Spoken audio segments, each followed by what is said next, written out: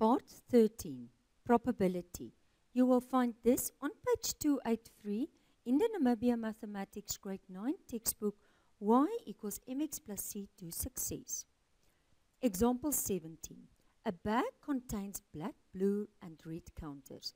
The probability of drawing a blue counter is 2 out of 5. If Alan draws a counter from this bag, what is the probability that it's not blue? Now remember the bag contains the full amount which is represented by a certainty which is 1. So a certainty. Okay. So basically, if I look at this and I'm going to ask you the probability not blue, I can just take that certainty and I subtract the blue amount. And, and I always remember it like this. As soon as I do this and I don't want to use a calculator, and just to make note, I just say 5 over 5. Just make that one a fraction. So this denominator is 5, I can say 5 over 5. If this is 4, I can say 4 over 4. Okay, and then it's easy to see that it's going to be 3 over 5, my answer. Okay, I want you to stop the video and I want you to do try now 17 number 1, A, B, C as well as D. You can continue the video as soon as you are finished. Try now 17. Number 1A. A bag contains a set of snooker balls, 15 red and one each of white, yellow, green, brown, blue, pink and black. What is the probability that one ball removed at random is red?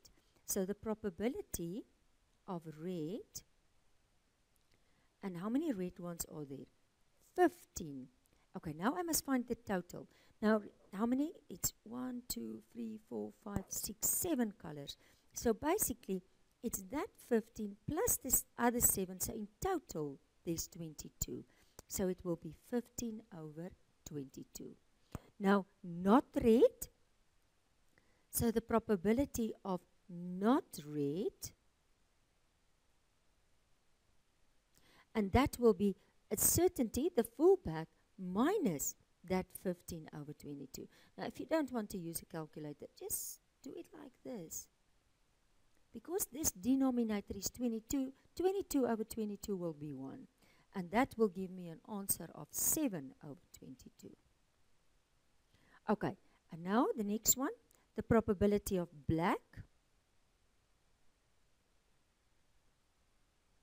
Now, what is the probability of black? There was just one, just one. So it will just be 1 out of 22. And then the last one, the probability of not black. Again, the full back, which is 1, minus, minus that 1 over 22. Again, it's 22 over 22 minus that 1 over 22.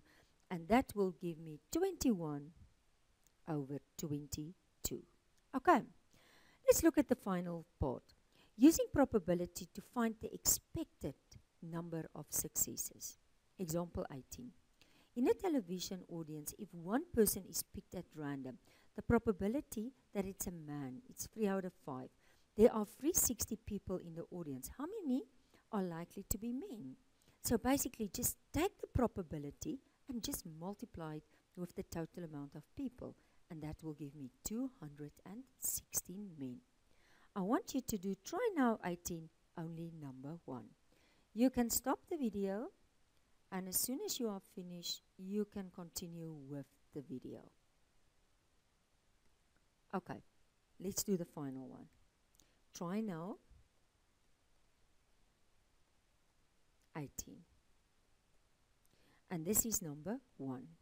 The probability that it will rain in Windhoek on any given day in October is 3 out of 7. How many rainy days can you expect if you go to Windhoek for 21 days in October?